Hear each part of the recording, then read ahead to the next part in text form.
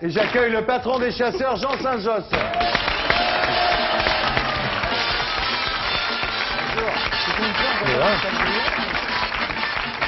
Tu t'en vas Ah oui, tu es à côté. Bonjour Jean Saint-Josse. Bonjour, Comment ça va ça va et vous Très bien, on est euh, ravis de vous avoir. Alors vous êtes président du CPNT, donc euh, chasse, pêche, nature, tradition. Oui. Alors en 1979, vous avez fait le serment de Pau, c'est ça Oui. C'est-à-dire que vous avez juré quoi en 79 Ben, les chasses traditionnelles étaient menacées par les problèmes européens. Ouais. Euh, donc on a manifesté contre les directives à l'époque en disant que euh, ça ne correspondait pas à l'identité de, de la vie que l'on voulait mener. Ouais. Et donc on a tiré l'attention des chasseurs et donc on a dit qu'on lutterait pour prêté les femmes. serment avec... euh, On n'a pas prêté Avec serment. du Jurançon et tout, sont, façon, ce sont les mots. les trois mousquetaires, Ce non sont les mots. Ouais. Ce sont les mots qu'on a employés pour matérialiser un peu cette réunion. Bien. Et alors 20 ans plus tard, au- donc en 99, aux élections européennes, vous avez 1,2 million d'électeurs qui ont voté pour vous. C'est énorme, hein. c'est énorme. hein. C'est en 20 ans. Il n'y avait rien. 20 ans après, il a 6 députés européens.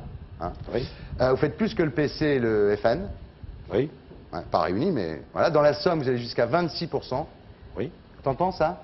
26% C'est le mec dans la monte, hein, Somme. Saint-Josse. Oui, hein. 27, C'est le mec qui oui. monte. Oh, il rattrape le, 26% le fil de la conversation dans comme la ça. Somme. Dans la. Somme. Et combien dans les Landes? Euh, avec les palombières, je dirais 32. Non, dans les Landes, il fait que 16. Hein. Voilà, c'est. Dans les Landes, il fait que Ouais, 16. mais Autant de femmes que d'hommes. euh, C'est les ramiers qui vont être contents. c'est- Oui, le- oui, il y a presque autant de femmes que d'hommes dans les, dans les votants, oui. Ouais. Alors dites-moi, vous êtes quand même quelqu'un de là, vous, vous êtes sympathique, vous êtes à la télé et tout, mais vous êtes vachement dur en fait. Vous êtes, vous avez, bah parce que, Vous allez me donner les exemples à ce bah vous avez dit, par, bah non, vous allez voir, vous êtes, vous êtes un type pas commode, Jean, je vous le dis moi. Voyons. Vous avez dit, aux, aux prochaines municipales, ce sera nous qui arbitrerons. En 2001, par exemple, nous, on fera élire le prochain maire d'Amiens, si on veut. Ça sera Grémet, ça sera Robien, c'est nous qui le ferons élire, Je, n'ai- d'une. je n'ai pas eu cette prétention. quand même. En- Pas du tout. Vous avez dit, notre ami Noël Mamère, qui était là, dernière émission, charmant Noël Mamère, vous avez dit, il sera plus maire de Bègle. Mais oui, vous savez pourquoi? Ah, parce qu'il n'aime pas les chasseurs, j'imagine. Mais non, pas du tout. C'est parce qu'il a expliqué que les chasseurs étaient les plus cons de France et d'Europe. Ouais. Alors, pour lui montrer qu'on n'est pas les plus cons, on va le faire battre à Bègle. Et voilà, hop. Ah oui, il rigole C'est pas. simple. Ah, mais Voilà. vous tirez vite, hein Ah, il tire à vue, lui. On- mais là, on tire quand même. Attention, hein. Et en plus, ils sont armés, les chasseurs. Vraiment... Vous refusez de discuter avec Voinet, enfin, Madame Voinet, hein, vous refusez de discuter avec elle. euh, vous dites, euh, les écolos sont des nuisibles. Ah, bon, il ne faut, pas- il faut pas tout exagérer Ah, non c'est pas plus. un rigolo, euh, je, dis, je dis que... euh, Je fais comme Martine Aubry. Ouais. Martine Aubry a expliqué l'autre jour qu'elle allait toiletter la loi sur l'avortement et qu'elle ne voulait pas discuter avec, avec les anti-VG. Ouais. Elle a raison, si on veut faire une loi sur l'avortement, ne discute pas avec les anti-VG. Ouais. Comment voulez-vous discuter de chasse et de loi de chasse, sur la chasse avec les anti-chasses Ouais. Bon, donc non. Non, vous parlez pas avec Dominique Par contre, par contre, par contre, il y a d'autres utilisateurs de la nature, il y a les agriculteurs, les forestiers, les élus locaux, etc. Voilà, vous parlez avec vos copains, vous parlez On pas avec... euh, Pas du tout avec nos copains, avec ceux qui ont le, avec ceux qui ont le terrain. Ouais. Mais quand vous l'appelez la fumeuse de moquette, enfin Je vous l'ai vos appelé. confrères, c'est quand même pas Voilà, très je l'a n'ai pas- pas, je pas. fumeuse je pas moquette. appelé la C'est mieux que la brouteuse de gazon, attendez, enfin. fumeuse. Ouais, les chasseurs, quand ils Ah, reviennent le soir. Vous avez bien dit, les écolos sont des nuisibles, quand même. Écoutez, si vous le dites. Ah oui, moi, Mais je- ne suis pas sûr. Dessus, vous allez retirer dessus Pas du tout. Ah bon Non, parce que j'ai eu peur, parce que je pensais que c'était la Lali, la curée, qu'on allait couper Non, la attendez, tête alors je continue le portrait de notre ami euh, Jean Saint-Josse. Donc, vous voulez pas discuter avec Voinet Bon. Jospin Je ne veux pas discuter avec les Verts. Je Voilà. dis avec les anti-chasses. Voilà. Donc, Monsieur Jospin nomme un Monsieur Chasse qui s'appelle Oui. François Patria. Quand on vous demande ce que vous en pensez, vous dites Vous allez me dire. rien. Eh bien, écoutez, j'attends qu'il sorte son rapport. Le Premier ministre, le Premier ministre lui, a, lui a demandé un rapport. Ouais. Mais quand le Premier ministre aura reçu le rapport, mais je crois qu'il est très occupé en ce moment, donc il va Bah peut-être ouais. pas le recevoir euh, Ouais. ces jours-ci. Donc quand il aura euh, publié son rapport, ben, on donnera notre avis. Oui, ça devait être jeudi dernier, mais à mon avis, il avait autre chose à faire, euh, Lionel Voilà. Jospin. Donc, vous voulez pas discuter avec Patria. Bon. Mais j'ai pas dit ça, c'est vous qui le dites. Ouais, non, non. J'ai dit que euh, va sortir ses propositions. Mais quand il sortira ses propositions, on les lira et puis on dira ce qu'on en pense. Alors, vous dites finalement, quand vous parlez de vos adversaires, vous dites qu'ils font pas de l'écologie, en fait, ils font de l'écologisme. Et finalement, euh, c'est des intégristes, quoi. Vous dites, en parlant des, des, antichasses, finalement, c'est des intégristes. Ils sont comme le FN. Euh, c'est des, des zoolâtres. C'est presque des khmers verts. C'est-à-dire, c'est-à-dire que quand on s'est présenté aux élections européennes, puisque j'étais à la tête de liste, on a fait appel à des gens qui étaient de gauche et de droite et qui avaient des sensibilités différentes pour adhérer sur un modèle d'aménagement du territoire et sur une idée philosophique qui était l'Europe et les différences. Bon, à partir de là, on a dit on coupe les extrêmes. Ouais. Ben, les extrêmes, il y a d'un côté Front National, et de l'autre côté, il y a les intégristes verts. Ouais. Ils ont un slogan marrant, là, les chasseurs. Tu sais ce que c'est? C'est notre drogue, c'est le canard, pas le pétard. c'est rigolo. On a fait référence à personne, vous avez bien compris. Je ne me suis pas du tout senti visé. hein. non, non, mais moi non plus. Dites-moi alors, pourtant, il y a quand même 51% des Français qui ont une mauvaise opinion de, de la chasse. Vous avez vu le sondage IFOP, là, la semaine dernière Ben, vous savez, on m'a donné 2% aussi dans les Ouais. sondages pour les, pour les élections Ouais. européennes. Ouais. Et on a fait 7, c'est-à-dire on a fait plus de trois fois plus. Donc Ah, les a- sondages, les Oui, sondages je m'en Vous méfie. étiez armé, hein, ça fait peur aussi. hein. J'étais armé, de- j'étais armé de mes arguments et Ah. de mon cœur. J'avais le cœur en bandoulière. Et je crois que c'est ce qu'a compris les millions de 100 hein. 000 personnes. Mais alors, il y, a c'est quand même, ça. Il y a quand même un problème un petit peu plus grave, Monsieur Saint-Just, c'est Oui. que la France est, est- est condamnée par, les cours euh, euh, européennes de justice. hein. on, est taxé parce que comme vous ne voulez pas accepter la loi européenne sur la chasse, la France est taxée. C'est les contribuables qui payent finalement, non? On n'est pas taxé. Il y a une cour de justice, il y a une cour européenne des droits de l'homme qui indiquait un certain nombre de choses par rapport à des juridictions nationales qui avaient donné leur aval. Bon, c'est un problème technique, donc on ne va pas y revenir. Bon, maintenant, ben, vous savez, on est en Europe. Euh, on explique tous les jours qu'il faut l'Europe et les différences, l'Europe et les terroirs, on en parlera peut-être dans notre domaine tout à l'heure. Ce qui veut dire que s'il faut reconnaître aussi ces différences, mais il faut faire marcher la subsidiarité. Euh, on ne peut pas vivre ou chasser de la même façon en Finlande qu'en Espagne ou qu'en France. Donc, c'est cela qu'il faut intégrer. Et l'addition des différences, c'est ce qui fait une, une Europe en couleur. Mais ça doit faire une Europe en couleur pour tout, pas que pour la chasse, dans, tout- dans tous les secteurs d'activité. Pour vous, la chasse, c'est un plaisir, voire un art, parce qu'il y a des gens chez vous qui disent que la chasse à la palombe, c'est un art.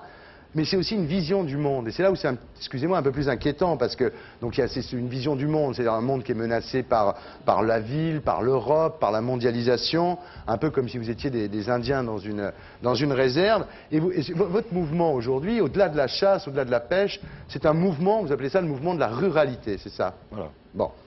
Est-ce que c'est pas populiste finalement ça? Est-ce que c'est pas un mouvement populiste? D- D'abord, mettons-nous d'accord sur le mot populiste. Oui. Bah, le populisme, c'est le début du poujadisme, c'est Ah le non, début non, du boulangisme, c'est le début ça. du Non, non, je- bonapartisme, le je, je, populisme. je, suis, je suis pas d'accord. Euh, si le populisme, c'est défendre les idées que veut le peuple, euh, on l'est. Sans quoi, on l'est pas. Alors, euh, pourquoi on dit... on, a, on, a, on a été maladroit? C'est-à-dire que quand on a créé notre mouvement en 89, C'est vrai qu'il y a eu des on est, morts. hein, on est parti... À, il faut Il y en a continuer à 40 être par maladroit. an. Il, il faut quand même qu'il y ait quelques maladroits de temps en temps.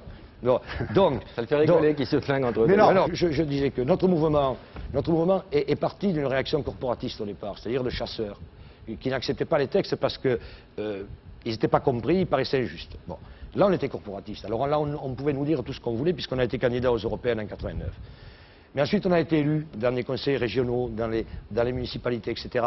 On a compris qu'il y avait autre chose dans la nature ou dans la campagne que les chasseurs.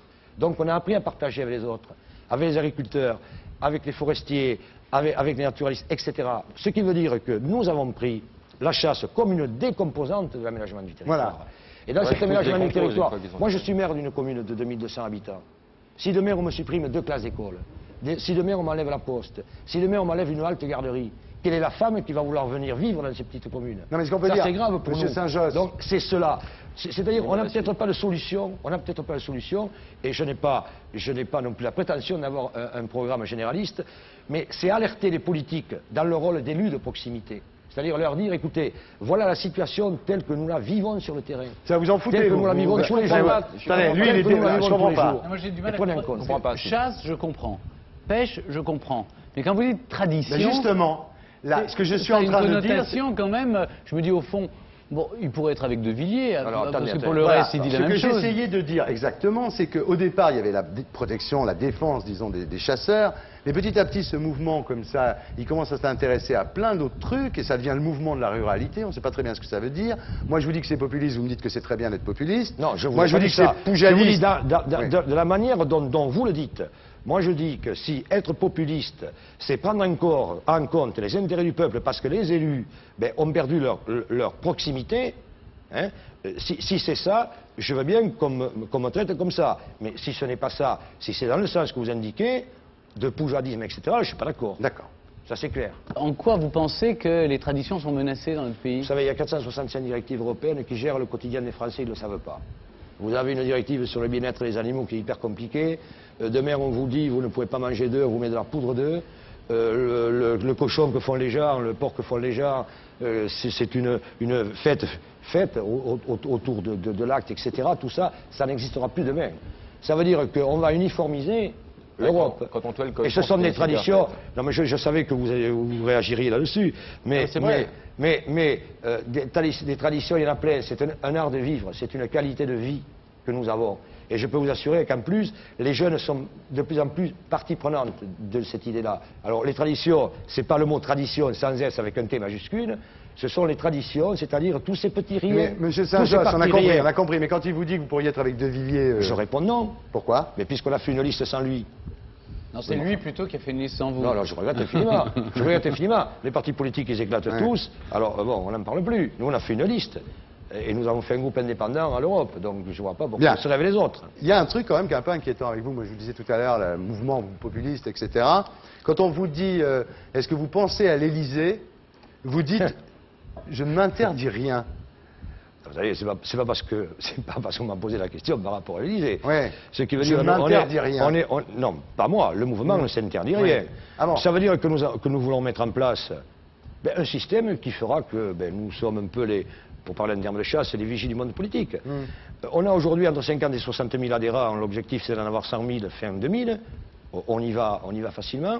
Ce qui veut dire qu'on qu'on va être structuré euh, au, ni- au niveau, au niveau communal. Bon, puis après on verra. Ouais. Si les politiques euh, prennent en compte ce qui est dit, ou une partie de ce qui est dit, ben, je crois qu'on disparaîtra un jour. Ouais. Non, mais attendez, euh, on ne fait pas de la politique par vocation. Moi, on fait de la politique par, par obligation. Vos copains, ils disent dans le midi que vous êtes pris un peu la coucourde. Vous croyez que c'est vrai? Ben, si je vous donne l'impression de ça, vous Non. me répondez oui. Non, mais, bon, Non, mais quand vous je dites que quand vous dites l'Élysée, on Je- pourrait le croire. Pardon Quand vous dites l'Élysée, je m'interdis rien, on pourrait le croire. pas- je n'ai Imagine pas dit. le président, la Garden Party, il est battu là-dedans. Je n'ai pas dit, je n'ai pas dit l'Élysée, mais je m'interdis rien. Ouais. On, on a dit le mouvement ne s'interdit rien, il met en place un système pour être prêt. Alors vous savez que vous avez un truc en commun avec euh, Stéphane Bern, c'est les guignols. Vous êtes vu aux guignols Non, du lui dit qu'il s'est pas vu. Vous non plus, vous dites que vous n'êtes pas mais- vu. Non, pas du tout. Ben regardez, vous Magnéto, Serge.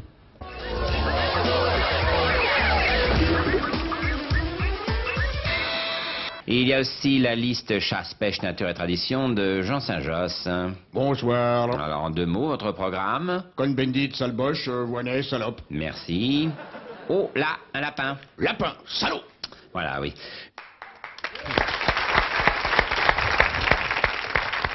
Tu ne fais pas marrer? Tu ne fais pas rire? Ah non, c'est pas rire. Non. Pas du tout. Le point commun, c'est que nous tirons tous les deux. Moi sur la jambe des princes et vous avec un fusil. Mais C'est vrai.